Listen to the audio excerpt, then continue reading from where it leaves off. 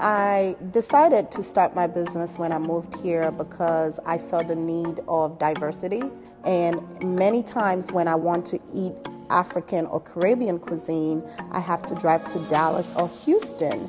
Because you have the community, you can start a business here in Shreveport, and I'll take that same model and start it in New York. I won't get seen like I've been seen here in Shreveport because of the community. Shreveport does acknowledge talent. That's one thing I'll tell you because the community actually will put you out there before you even put yourself out there if you have a great product.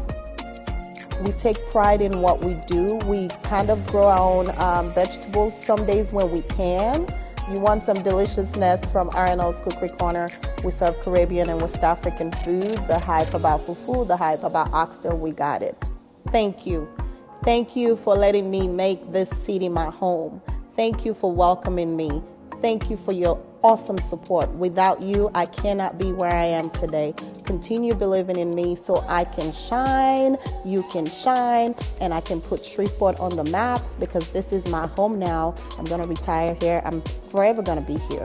The support that I have here, I do not believe I even have in my own country where I'm from. So the community is big to me, and that's the reason why I'm staying in Shreveport. I hope one day to open up a restaurant because the community have supported me when I didn't have a food truck, let alone have a place for them to meet me. Sometimes we meet in the back of my car and I have food and I have dress for them to try on.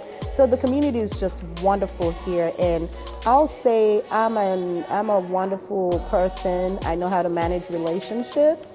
So I don't play with my community and I make sure I tell them every time. I give people their flowers and Shreveport, you rock. I don't care what nobody says, Shreveport, you rock.